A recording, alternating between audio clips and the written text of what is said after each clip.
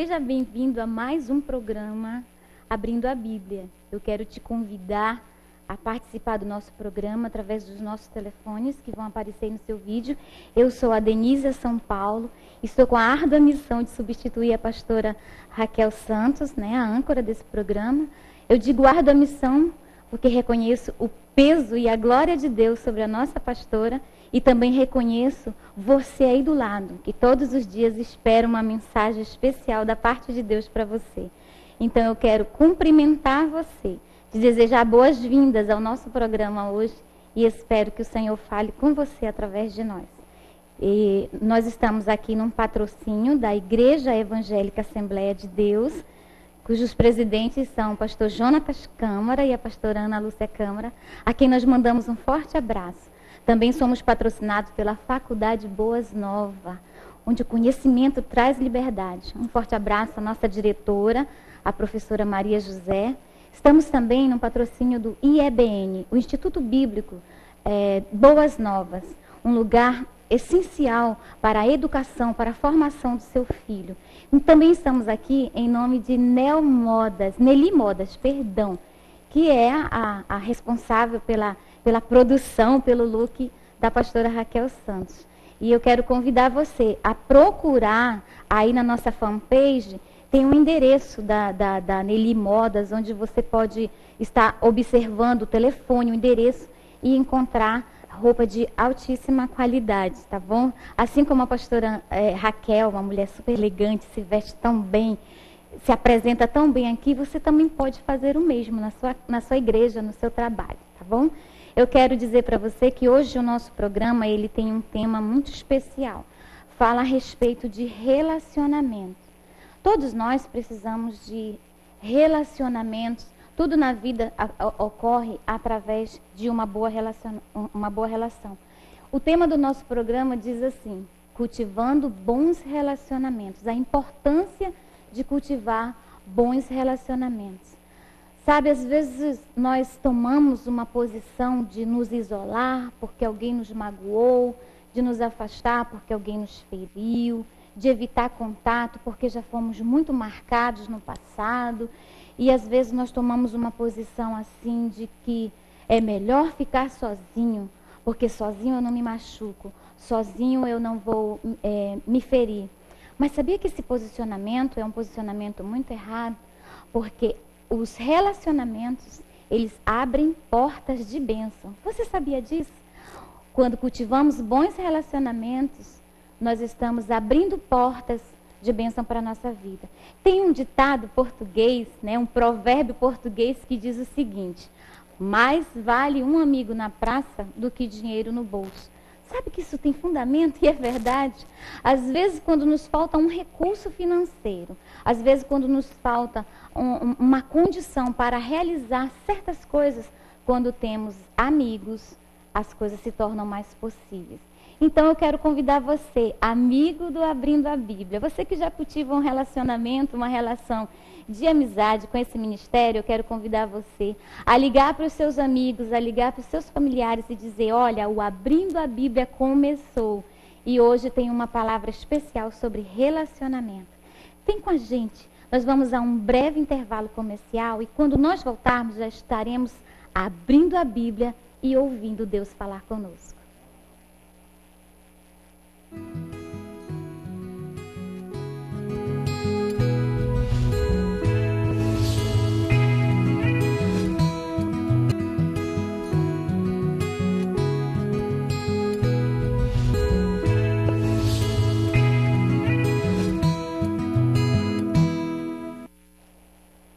Estamos de volta e como eu havia falado para você no início do nosso programa, hoje o nosso tema trata a respeito de relacionamento.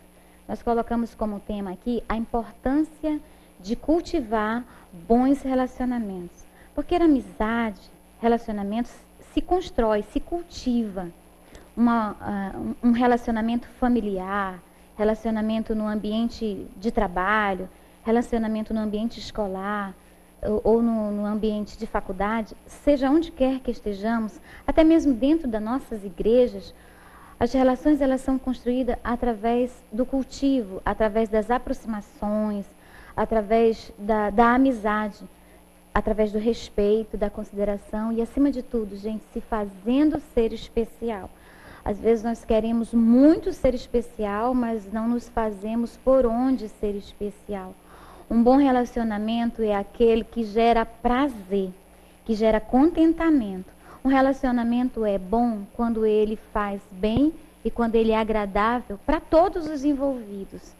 Às vezes nós é, erramos em querer tirar vantagem dos relacionamentos, das relações, querer tirar vantagem só para nós mesmos e não produzir vantagem para outro. Uma boa cadeia de relacionamento é quando essa relação, quando essa cadeia de relação, ela gera benefícios e vantagem para todos os envolvidos. Eu escolhi uma referência para nós lermos hoje, que trata um pouco sobre isso, Está lá no livro de é, Segundo Reis, capítulo 4. Eu quero convidar você, se tiver uma Bíblia aí perto, a acompanhar a leitura comigo. O livro é, novamente eu falo para você, Segundo Reis, capítulo 4. Nós vamos ler somente alguns versículos, os versículos 1 ao 7. Traz uma história que no, no decorrer da minha leitura, você já vai chegar ao entendimento do que eu quero falar para você nesse dia. Então vamos ler, me acompanhe aí. Diz assim a palavra do Senhor. Certa mulher, das mulheres dos discípulos dos profetas, clamou a Eliseu, dizendo: Meu marido, teu servo, morreu. E tu sabes que ele temia o Senhor. É chegado o credor para levar os meus dois filhos para lhe serem escravos. Eliseu lhe perguntou: Que tu tens, o que tenho eu contigo? O que hei de, de te fazer? Dize-me o que tu tens em casa. Ela respondeu: Tua serva não tem nada em casa, senão uma botija de azeite. Então disse ele: Vai, pede emprestado vasilhas de todos os teus vizinhos, vasilhas vazias, e não poucas. Que tremendo. No verso 4 diz assim: então entra e fecha a porta sobre ti e sobre os teus filhos, e deita o teu azeite em todas aquelas vasilhas. Põe a parte as que estiver cheia. Partiu, pois, ela e fechou a porta sobre si e seus filhos. Estes lhe chegavam com as vasilhas e ela as enchia. Cheia as vasilhas, disse ela a um dos seus filhos: Chega-me aqui mais uma vasilha. Mas ele respondeu: Não há mais vasilhas nenhuma. E o azeite então parou. Então foi ela e fez saber ao homem de Deus. Ele disse: Vai, vende o azeite, paga a tua dívida, e tu e teus filhos vive do resto.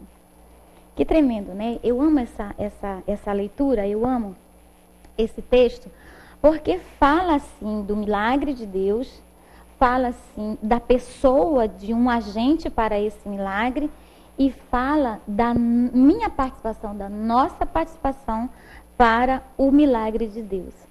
Às vezes nós esperamos o milagre do Senhor, às vezes nós esperamos o milagre, a ação de Deus sobre a nossa vida, mas esquecemos que para que a, o, o agir de Deus aconteça na nossa vida, é necessário que nós estejamos dentro de um contexto para que essa ação sobrenatural aconteça.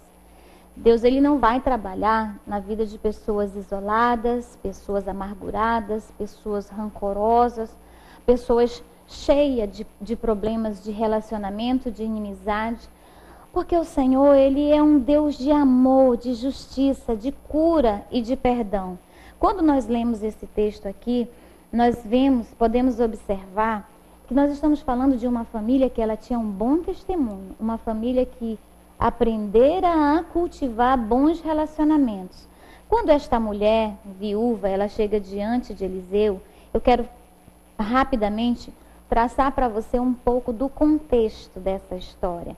Eliseu era um profeta e essa mulher viúva de um dos soldados de Eliseu de um dos homens com quem Eliseu andava. Certamente um homem de bom testemunho, certamente um homem companheiro. certamente é, um homem achegado que havia cultivado um bom relacionamento com Eliseu. Tanto é que quando a sua esposa, a, a, a, a viúva, né, chega até Eliseu, ela relata quem era o seu esposo. Ela diz: Olha, o meu esposo, ele morreu, ele era o teu servo. Ela traz a lembrança de Eliseu que aquele homem era um homem companheiro, era um homem amigo, e ali ela está pedindo socorro, ela está pedindo ajuda, porque também ela estava vivendo uma outra situação, além da viuvez, além de ter, estar sofrendo o luto, a perda do seu esposo, que não é fácil, né? A situação de luto, perder o marido, mas eu, eu quero trazer você para dentro dessa cultura, do contexto dessa cultura, é, onde as perdas eram bem mais difíceis de reparar pelo fato de nessa época a mulher ela não ter amparo nenhum de autoridades governamentais, não ter amparo nenhum da sociedade, porque nessa época aqui imperava muito a questão do, do trabalho, ele era restrito para homens. E a mulher, uma vez ficando viúva, ela ficava totalmente à mercê de favores é, dos familiares. Né? Nós não, a Bíblia não relata muito a história da família dessa mulher, mas o que nós entendemos é que a família em si, o casal, o relacionamento deles era um relacionamento de, de proximidade, era um relacionamento de amizade. Pelo que nós entendemos aqui, eles não tiveram ou, ou não cultivaram problemas com terceiros que viessem dificultar a sua vida. Por ele ser companheiro de Eliseu, quando ela chega até Eliseu e pergunta dele e, e diz: Eu estou com um sério problema. Voltando ao contexto, eu quero falar para você que naquela época, quando a viúva não podia cumprir com as responsabilidades ou com os compromissos, com as dívidas que o marido havia deixado, essas dívidas não eram perdoadas, não. Elas permaneciam e aí, se ela não pudesse pagar a dívida, então ela teria que dar os filhos como escravos e assim a sua dívida seria quitada. Mas pense bem, numa situação de perda, numa situação de luto, numa situação de sofrimento, ainda correr o risco de perder o seu filho, os seus dois filhos ainda correr o risco de sofrer mais um, uma perda, mais um luto, né, mais uma separação imagino eu que a situação dessa mulher não era fácil. Não foi fácil. Até que ela tomou uma decisão, ela tomou uma postura de procurar a quem pedir ajuda. Esse é um ponto fundamental da nossa administração hoje.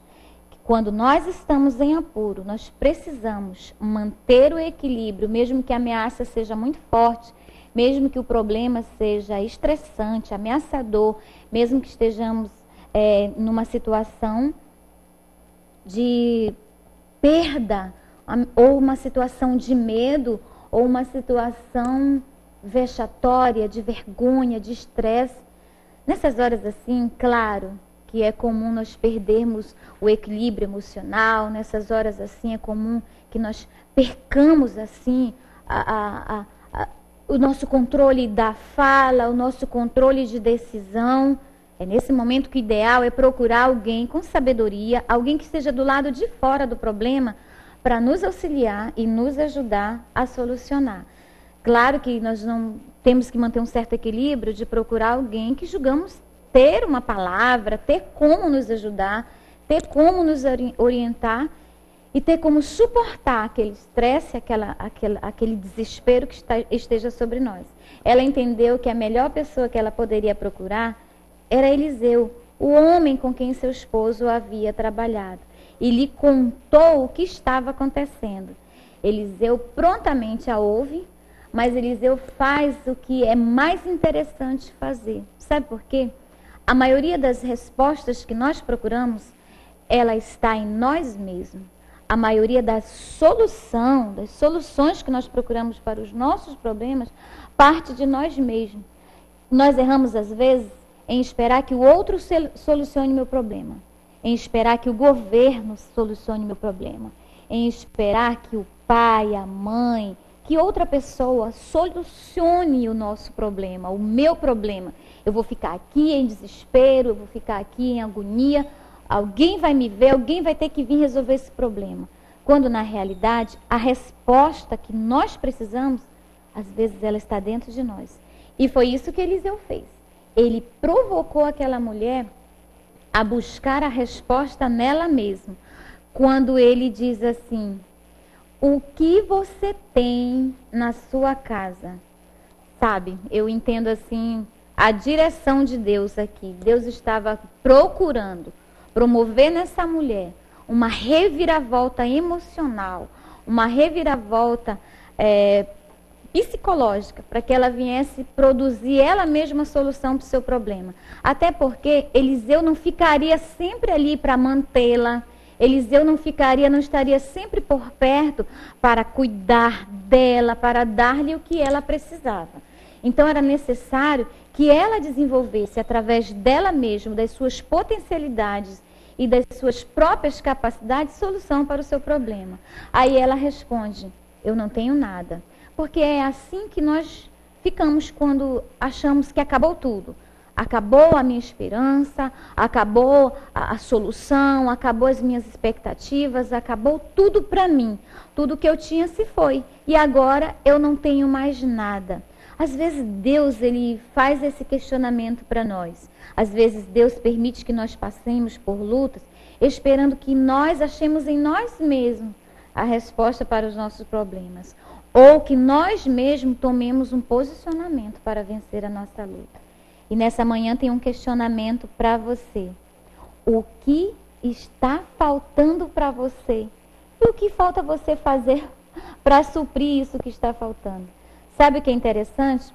Quando aquela mulher disse assim: Eu só tenho mesmo, eu não tenho nada a não ser um pouco de azeite. Nessa época, quem tinha um pouco de azeite poderia, poderia considerar-se provido de algo. Porque o azeite representava um elemento de, de valor. O azeite ele era como se fosse uma mercadoria muito importante, porque ele fazia parte da, da, da, da produção de alimentos, era um elemento que estava na produção de, alimento, de alimentos e essencial para a iluminação. Então, quem tinha azeite naquela época tinha iluminação, tinha luz, tinha é, é, como providenciar luz. E talvez hum, é, você nessa manhã esteja aí se lastimando, é, pensando assim que tudo acabou e você não tem mais nada. E talvez Deus lhe pergunte nessa manhã, nesse dia, né? Nesse momento, Deus lhe pergunte: o que, que você tem para tomar uma posição, para tomar uma postura, para começar a resolver esse problema. Se você se conformar em somente responder, eu não tenho nada, acabou tudo, assim será para você. O nada e o acabou tudo. Mas quando você faz que nem aquela mulher, tem a lembrança de procurar lá na memória, de procurar sobre aquilo que sobrou, diante daquilo que sobrou, ah, eu tenho algo, eu tenho um pouco de azeite. O azeite representa unção. O azeite representa, representa a presença de Deus. Se te faltou tudo, faltou o emprego, faltou o esposo, faltou o amigo, mas se você tiver apenas um pouco de azeite, apenas um pouco da unção do Senhor, você já tem a solução para o seu problema. Foi através desse pouco que veio a multiplicação. Nós não podemos esperar que Deus chegue assim. Aqui está a solução do teu problema. Deus está esperando que você reaja no meio da sua luta e gere a solução do seu problema. Foi isso que aquela mulher fez. Foi assim que ela fez. Ela com certeza observou a sua volta e viu: realmente eu não tenho nada, mas eu tenho um pouco de azeite. E ela recebeu a instrução do homem de Deus que disse: Nós vamos fazer um grande milagre, nós vamos fazer uma grande é, é, multiplicação. Se você tem pouco, Deus precisa somente do teu pouco para fazer um grande mover, para fazer um grande agir. Aí o profeta orientou ela: pega vasilhas emprestadas dos teus amigos, dos teus vizinhos, tranca-te na, na, no teu quarto, fecha a porta da tua casa com os teus filhos e começa a derramar azeite. Talvez o que falta para você nesse dia é somente um posicionamento. Parar de se expor muito. Coitada de mim, viúva que sou, pobre que sou, desempregado que sou, abandonado que sou. Tomar uma decisão. Parar de se expor e tomar uma postura para solucionar o problema. Foi o que essa mulher fez. Mas no próximo bloco eu vou falar para você de como ela conseguiu. É bem verdade que a multiplicação, o milagre, é Deus que faz. Mas nós vamos estar observando que ela conseguiu através de relacionamento. Eu quero convidar você ao próximo bloco verificar comigo como é importante o relacionamento. Porque as relações, elas constroem, as relações elas podem ser tanto destrutivas como construtivas. Uma relação construtiva é aquela que edifica, é aquela que produz, é aquela que promove, é aquela que, que compartilha, é aquela que acrescenta. E foi o que aconteceu com aquela mulher. Quero lhe falar que talvez quando você esteja diante de uma situação do não tenho nada, quando você esteja diante de uma situação estou perdida, estou em apuros, o que é necessário para sair do, do apuros, é, o que é necessário para sair do problema, é ter uma visão do que se tem. Se não vemos nada, se não observamos o que temos, se não reconhecemos o que temos, então nada teremos. Sabe o que diz um provérbios aqui da Bíblia que diz tudo que o homem pensar a respeito de si, assim será. Se nós continuarmos assim, ah, eu não tenho nada, eu sou uma coitadinha, ninguém me ama, ninguém gosta de mim. Eu sou tão desprezada, eu sou tão solitária, eu sou tão rejeitada. Se nós ficarmos repetindo esses decretos, repetindo é, é, esses verbetes, repetindo esses pensamentos, assim nós seremos. Nós temos que tomar uma postura, uma posição uma situação de crise, ela pode mudar quando se tem companheiros, quando se tem amigos, quando se desenvolve relacionamento. E por isso que o tema de hoje é a importância de cultivar bons relacionamentos. Porque quem cultiva bons relacionamentos pode faltar dinheiro, pode faltar emprego, pode faltar o recurso que for, mas se tem amigos, não está só. E sabe qual é um dos grandes problemas da sociedade hoje? Um grande problema da humanidade, das pessoas? É a solidão. Às vezes, sem dinheiro se passa. Às vezes, sem emprego se passa. Mas a solidão é muito difícil.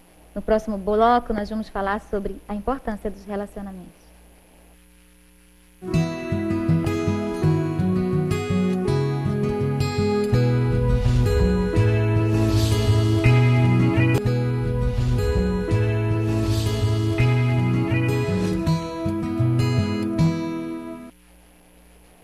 Estamos de volta e como nós havíamos comentado no bloco anterior, nós vamos estar falando um pouco agora da importância dos relacionamentos. Quando o profeta diz a ela, a, a viúva, né, o que, que você tem em casa? E ela disse, eu tenho um pouco de azeite. Ele faz a seguinte oração, é, a seguinte é, sugestão: procure os seus amigos, os seus vizinhos, Vá até eles e peça-lhes vasilha emprestada. E é aqui que eu quero chamar a sua atenção. Ninguém vai procurar vizinhos se não tiver bom relacionamento com eles. Ainda que um profeta lhe mande, lhe ordene. Ninguém vai procurar pessoas para pedir algo emprestado se não tiver cultivado anterior um bom relacionamento. Imagino eu que essa mulher, com certeza, ela deveria ter uma, um, uma convivência harmoniosa com a sua vizinhança e pelo que nós podemos extrair de interpretação, pelo que nós podemos extrair aqui do texto, nós podemos ver que essa família era uma família que seguia a paz com todos. Ela, essa família tinha um bom relacionamento. Tanto é que quando essa viúva vai falar do seu esposo ao profeta Eliseu, ela mesma diz: O meu esposo era um homem bom, ele era teu servo, era um homem companheiro. Porque servo é aquele que acompanha. Servo é aquele que está perto. Servo é aquele que está junto. Então, me leva a entender que essa família tinha uma característica de que servia, de que era companheira, que te desenvolvia bom relacionamento e de que procurava seguir a paz com todos. Quando Deus quer agir da forma como ele agiu aqui na vida dessa viúva, faz, é, se fazia necessário que ela tivesse uma participação para esse milagre, que ela tivesse uma colaboração para esse agir de Deus. E a participação dela seria justamente essa: ter um bom relacionamento com as pessoas.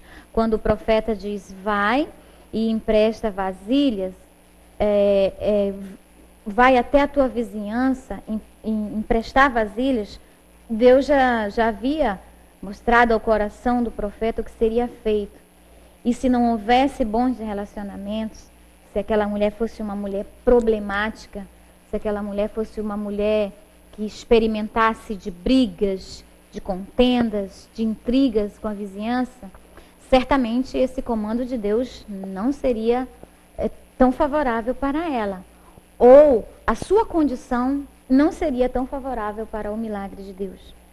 Imagino eu que tomar essa postura de ir até os outros pedir ajuda é uma questão, é uma postura de humildade.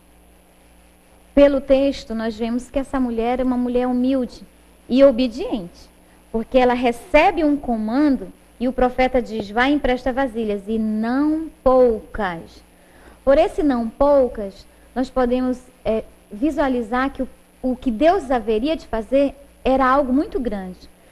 Mas quando nós observamos e atentamos para a necessidade de se buscar muitas vasilhas e não poucas, nós observamos aí que haveria um esforço, e não pouco, de humildade, de obediência, de chegar junto, de tomar posição, de ir, a lugares, de bater de porta em porta, de ter contato com pessoas, de conversar, de falar, de se relacionar, de abrir diálogo e até mesmo abrir o coração.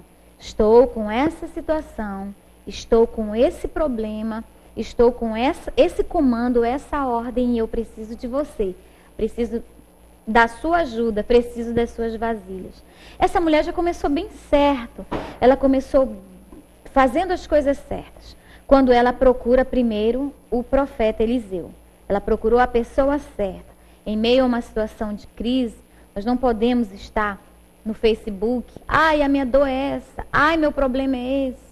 Em meio a uma situação, um problema familiar, nós não podemos estar expondo nossos familiares. Nós não podemos estar expondo. O meu marido é assim. O meu marido tem esse jeito. Eu não gosto dessa postura. Ah, o meu filho é rebelde. Meu filho é isso. Às vezes nós observamos, as pessoas estão tão vulneráveis, as pessoas estão se expondo tanto que elas nem se apercebem o quanto elas estão atingindo a si mesmo, a sua família, quando elas se abrem, se expõem a qualquer pessoa. É um risco muito grande você expor o seu problema, você expor a sua dificuldade, você expor a situação para qualquer pessoa. É um risco muito grande você se abrir para qualquer pessoa. Por isso que nós orientamos a que você busque pessoas certas. E como achar a pessoa certa? Como encontrar a pessoa certa? Primeira coisa é que quando nós estamos diante de uma situação problemática, nós já temos pouco domínio sobre a situação. Quando nós estamos em uma situação de conflito, quando nós estamos é, perturbados emocionalmente por um problema, nós já não temos muito domínio das nossas emoções, das nossas da nossa fala, da nossa palavra, então nós não somos a pessoa ideal para uma discussão, para um debate, para um comentário. E é esse cuidado que nós temos que ter, porque a nossa postura, ela pode aumentar o nosso problema. A nossa fala, o nosso comportamento pode complicar mais ainda a situação. O que eu sugiro aqui é que se procure uma pessoa que esteja do lado de fora do problema, que ela possa ter um olhar sem muito envolvimento emocional a respeito do fato que está, esteja se, é, se passando. Por exemplo, um líder, alguém da família que não esteja afetado pelo problema, o pai, a mãe, um irmão, um líder na igreja, um pastor, um amigo, não importa. Mas o importante é que você identifique naquela pessoa um equilíbrio emocional, que você identifique naquela pessoa que ela não está envolvida emotivamente com o seu problema, que ela não vai tomar partido baseado nas suas emoções, mas nas razões necessárias para solucionar o problema. E foi a primeira posição daquela mulher, ela tomou a posição certa. vou procurar Eliseu, vou procurar o homem para quem meu esposo trabalhava, vou procurar o profeta, porque o profeta tem sempre uma palavra de Deus, tem sempre um comando de Deus, tem sempre uma ordenança de Deus, e ela foi lá. Quando o profeta disse para que ela procurasse pessoas, para que ela emprestasse as vasilhas, ali ele estava sugerindo: te expõe, abre o coração, segundo aquilo que você já conquistou, segundo aquilo que você já cultivou, que são as relações que nós fazemos olho no olho. Deus estava chamando aquela mulher para relações bem diferentes das relações de hoje. Hoje, nas nossas redes sociais, nós somos seguidos e nós temos amigos virtuais aos milhares. Mas existem problemas, existem situações que elas têm que ser resolvidas olho no olho. Relacionamento, compromisso, comunhão conversação, a amizade, companheirismo. E às vezes nós não estamos prontos nem preparados para desenvolver esse diálogo de olho no olho, de chegar junto, dizer eu estou com essa situação aqui. Às vezes nós temos vergonha, somos tímidos, às vezes nós temos medo, às vezes nós tememos o que o outro vai pensar de mim, que eu estou com esse problema, que eu estou com essa necessidade. Mas quando nós cultivamos relacionamentos verdadeiros, quando nós cultivamos relacionamentos e nós fazemos com que a nossa participação nesse relacionamento também seja vantajoso para o outro, porque é errado quando nós desenvolvemos relacionamentos para que tenhamos é, vantagens só para nós. Aí não é muito bom, não. Mas quando nós desenvolvemos relações em que outros tirem vantagem também, em que os outros sintam prazer de ser nossos amigos, e que os outros sintam prazer de nos ajudar, aí pode acreditar. Não passamos sufoco, não. Foi o que aconteceu com aquela mulher. Você já imaginou se essa mulher não tivesse bons relacionamentos? Você já imaginou o atraso que seria para a solução do seu problema se essa mulher não tivesse um, um relacionamento agradável, familiar com sua vizinhança? Acontece de muitas das vezes nós termos, é, sofrermos alguns prejuízos quando pequenas coisas poderiam ser feitas. Às vezes, nós cultivamos problemas que poderia ser minimizado quando nós dizemos olá, bom dia. Às vezes nós cultivamos problema quando nós não abrimos um sorriso para aquela pessoa ali do lado, para aquele vizinho, para aquele amigo que, que espera de nós um comportamento de, de educação, um comportamento de, de respeito, às vezes nós cultivamos problemas quando poderíamos cultivar bons relacionamentos. E digo a você, o resultado da postura dessa mulher em relação aos seus relacionamentos foi algo sobrenatural. As pessoas, diz a Bíblia, que ela conseguiu muitas vasilhas e não poucas. E por conta do empréstimo que ela obtivera, por conta das vasilhas que ela recebera, o azeite foi sendo despejado sem parar. Só parou quando a última vasilha se encheu. Quando eu falo de azeite, numa linguagem mais é, espiritual, que é a nossa linguagem com Deus, eu estou falando que para nós cultivarmos a unção de Deus, né, para que a unção de Deus se multiplique, que às vezes nós nos preocupamos muito de termos uma boa administração, uma boa palavra, um, um, uma boa postura de líder, de líder e nos esquecemos que o óleo, a unção se multiplica através de como o outro me vê também. Como os meus amigos me veem, como os meus discípulos me veem, como o contexto da sociedade me vê, como a minha igreja olha para mim e me enxerga é uma parte fundamental para a multiplicação da unção. É bem verdade que eu preciso ler a Bíblia, eu preciso estudar, eu preciso orar para ter autoridade do Senhor, Mas o que é ter autoridade, o que é ter uma boa oratória, o que é ter um bom discurso, se não há quem me ouça, se não há quem admire o que eu estou falando, se não há quem acredite no que eu estou falando, porque meu testemunho não condiz com aquilo que eu falo. Então, se você quer multiplicar óleo, se você quer multiplicar unção, se você quer multiplicar a presença de Deus, eis aqui o segredo: cultive bons relacionamentos. Porque quem nos ouve são as pessoas à nossa volta. E às vezes, nós nem precisamos de um bom discurso para pregar o evangelho. As pessoas nos veem o nosso comportamento é uma mensagem. O modo como nós agimos com os nossos filhos, o modo como nós agimos com a nossa família é uma mensagem. Você sabia que você é observado? Você sabia que as pessoas estão olhando para você e que as pessoas esperam mais de você? As pessoas elas estão olhando para nós, elas estudam o nosso comportamento, elas observam o nosso modo de ser enquanto família, elas observam o nosso modo de ser enquanto pregamos, se a nossa pregação realmente condiz com aquilo que nós estamos dizendo e se aquilo que dizemos realmente condiz com aquilo que fazemos, se aquilo que dizemos crê, trans, é, é, transborda em nós, aparece em nós. Quem cultiva bons relacionamentos facilita o evangelho. Quem, quem cultiva bons relacionamentos facilita a propagação do reino de Deus na terra. Nenhum bom pregador, nenhum excelente pregador anunciará boas novas com excelência se a sua própria vida não falar a respeito disso. Essa mulher conseguiu que a mão de Deus entrasse na casa dela porque certamente ela tinha um bom testemunho. Essa mulher conseguiu experimentar o milagre de Deus porque certamente as pessoas a admiravam. Essa mulher conseguiu um feito sobrenatural porque o seu testemunho condizia com a sua fé. Ela creu, ela obedeceu, ela agiu, mas por trás dela haviam pessoas que a admiravam. A Bíblia conta de outros exemplos a respeito da ação de amigos para o milagre de Deus. Lá no livro de, de Mateus, no livro de Mateus tem uma história muito interessante é, ou melhor, Marcos, é o livro de Marcos. Marcos, capítulo 7, verso 1 a 12, conta a história de um, um, um jovem que ele era aleijado. E os seus amigos ouviram dizer que Jesus estava reunido com uma certa multidão dentro de uma casa. E sabe o que fez seus amigos? Eles tiveram a ideia de carregar aquele amigo aleijado.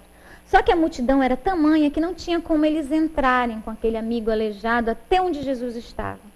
Aí os amigos tiveram a ideia. Vamos facilitar para o nosso amigo. Vamos subir, vamos tirar o telhado da casa e vamos descê-lo. Sabe o que isso quer dizer? O amigo abre portas para um milagre. Quem tem amigos, quem tem companheiros, quem tem pessoas fiéis ao seu redor, tem maior possibilidade da bênção. Mas não basta ter somente amigos, números, pessoas que eu atraia, porque eu sou líder, porque eu sou mãe, você tem que ficar aqui porque eu sou sua mãe, você tem que estar perto de mim porque eu sou seu líder, você tem que estar aqui porque eu sou seu pastor. Não, mais do que isso, mais do que as pessoas terem que estar, mas as pessoas quererem estar, as pessoas desejarem estar. Como é que você analisa a sua pessoa, como é que você se olha enquanto amigo? As pessoas desejam estar perto de você, as pessoas gostam de estar perto de você, o seu discurso é agradável, as pessoas estão perto de você pelo seu discurso ameaçador ou pelo seu discurso envolvente, pelo prazer de estar ao seu lado. Eu quero citar para você mais uma história de um, um milagre, de uma ação a, que, que, envolve muito a, a, a pessoa de um amigo. Está lá no livro de João, capítulo 5. Se você gostar de, quiser ler, está no livro de João, capítulo 5, do verso 1 ao 9. Lá está escrito a história de um homem que ele sofria de, de uma enfermidade, ele, ele, ele também tinha deficiência, e ele estava no tanque de, de, de Betesda deixa eu contextualizar rapidamente para você o que, que era aquele lugar. o tanque de Betesda era um, um, um lugar que é, trazia muitas pessoas que tinham fé, pessoas religiosas. E ali havia um mover sobrenatural de que é, vinha o anjo do Senhor, que quando movia as águas daquele tanque, as pessoas que chegassem lá perto, o primeiro que chegasse perto das águas, ele, é, ele obtinha cura, era curado. E aí Jesus chegou no tanque de Betesda, né? E encontrou ali um homem que ele já sofria de uma enfermidade há 38 anos. Jesus se aproximou daquele homem e disse assim: Você quer ser curado? Claro, né? Quem não quer ser curado diante de uma enfermidade? Quem não quer a solução de um problema quando se está com um problema? Quem não quer um socorro quando se precisa dele? Quem não deseja ser observado, acolhido, amparado, tratado bem quando já se considera muito rejeitado? Sabe o que aquele homem respondeu? Ah, sim, claro que eu quero ser curado. Mas tem uma coisa: eu não tenho quem me leve lá no tanque. Eu não tenho quem me conduza até lá. Eu fico pensando o seguinte: aquele homem não tinha amigos? Aquele homem não cultivara nenhum relacionamento? Não tinha uma pessoa que o conduzisse até o tanque?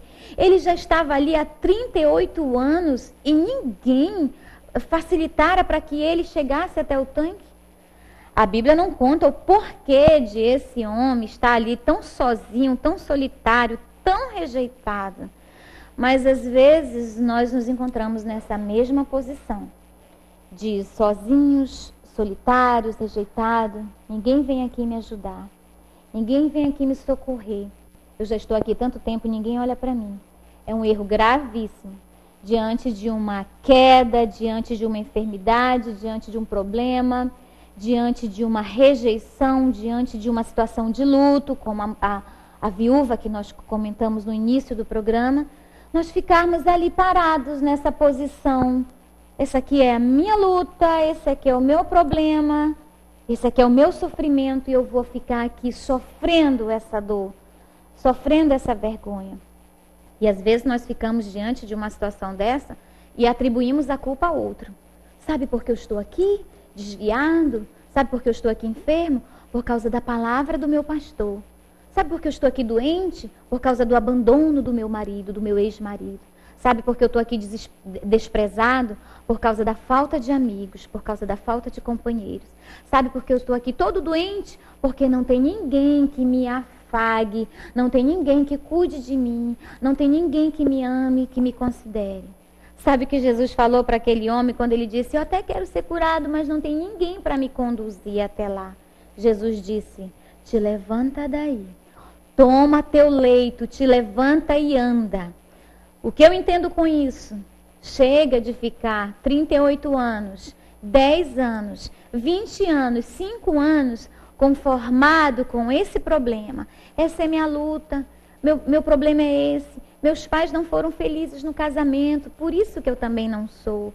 Meus pais não tiveram sorte nos estudos, por isso que eu também não tenho. Levante-se, tome uma posição, pegue esse leito, abandone essa enfermidade, abandone essa posição de coitadinho, de desprezado, de rejeitado. Faça alguma coisa por você agora, nesse dia. Levante-se, tome o seu leito, vá embora. Sai dessa posição de sofrimento. Eu volto daqui a pouco para nós orarmos.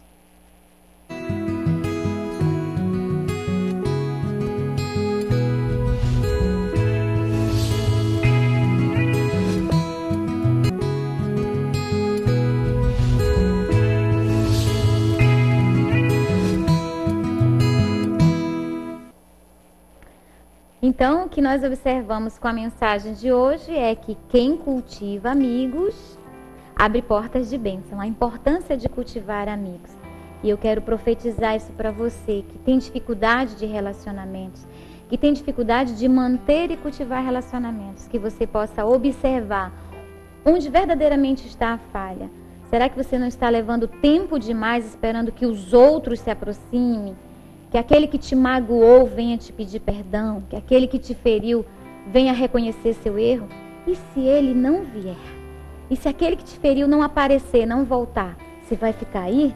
Faz como aquele homem do tanque de Betesda. Te levanta, pega esse leito e vai viver, ok? Olha, nós temos algumas participações aqui, eu quero ler para você, porque nós já estamos chegando no finalzinho do nosso programa e esse é um momento também muito especial quando nós vamos orar por você, porque você aqui que acompanha o ministério abrindo a Bíblia, você tem amigos que oram e mesmo depois do programa, nós temos uma equipe que intercede, que está te acobertando com oração. E eu quero ler alguns nomes para você. Ah, é, pessoas que estão ligando para nós, a Rita Rodrigues está pedindo oração por todos os membros da sua família. A Neire também está pedindo oração pela sua mãe, Cássia. E Gerson Mina também pede uh, oração, vai fazer, está fazendo quatro anos, acamada e está pedindo socorro do Senhor. O Aldemar também pede oração pela sua família. O Adriana também pede oração por, porque está enferma, sua sobrinha está enferma, está na UTI e ela está clamando por um socorro. A Neide Silva também clama, está passando por, por uma situação e ela precisa de libertação da tristeza e da angústia. Também nós temos a Glenda, pede oração em favor do Hilton Simões. E tantos outros pedidos de oração aqui, eu vou ler só o nome. A Helena, a Irene, também o Lauro, a Cleonice, a Maria, a maioria dos pedidos de oração e a Célia. A maioria dos pedidos de oração diz respeito a um socorro para a família. Isso é muito importante. Quando nós estamos orando pela família, é que nós estamos produzindo relacionamentos. Nós estamos querendo que as nossas relações sejam duradouras. Eu quero convidar você a orar. Querido eterno Deus, aqui estão esses pedidos de oração. Senhor, são pessoas que estão clamando pelas suas famílias, pelos seus familiares. Há questões aqui, Senhor, de enfermidade. Nesse momento eu quero te pedir, Senhor, por essas pessoas que se encontram num sentimento de solidão, num sentimento de desespero, de desprezo, sentimento de que estão sós, lhes faltam o amigo necessário. Eu quero te convidar, Espírito Santo, entra nessas vidas, entra nessas casas, trabalha e age por essas famílias, por essas pessoas. Age com cura, age com libertação, Senhor. Faz o teu mover, pois tu és o Deus do milagre. Multiplica o teu óleo, multiplica a tua unção sobre a vida dessas pessoas e que essas pessoas experimentem o teu afago, o teu cuidado e o teu afeto. Que maravilha, né? Que bênção de Deus.